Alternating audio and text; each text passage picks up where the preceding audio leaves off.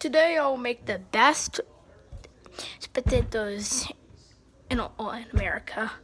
Or in a lot of the times people make potatoes pretty good. I mean mashed potatoes, all the good potatoes. But today I'm gonna make the best potato maybe in history.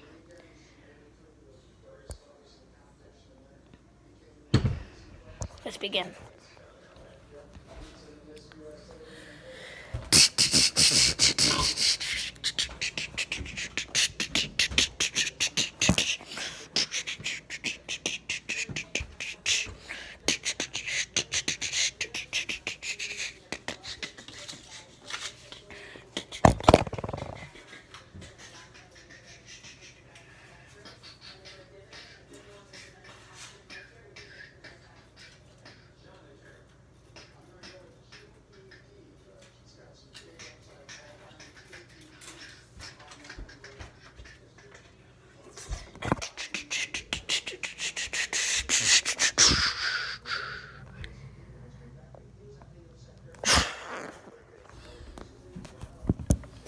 Okay, so the first thing of making a preferred potato, you are going to want to clean your potato. Now the potatoes are typically clean, but you know, if they're not cleaned, roasted, they're not good.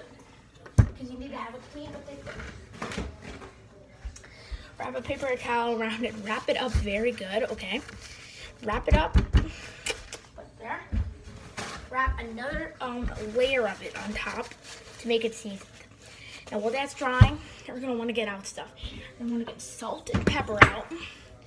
And you're also gonna want to get a cutting board out. Now, after since, after since the um, dried, you're going to wanna put it down. And you are gonna want to sort of harm. What, well, that didn't be bad, but you have to sort of harm it with like something like this. And you're gonna also want to sort of rip off the tiny things that are actually sort of getting in the way of your food. And you're also going to want to sort of pat down on it. So you're also going to go get a knife. So give me one second.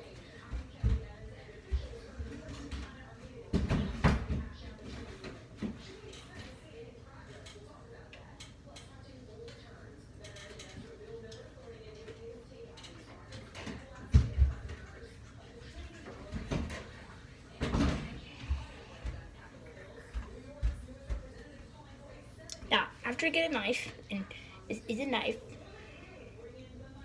now you're gonna want to be very careful. Now put your hand on the side. You're gonna want to really cover so it was a watch. It slices through good, but you have to be very careful picking it off.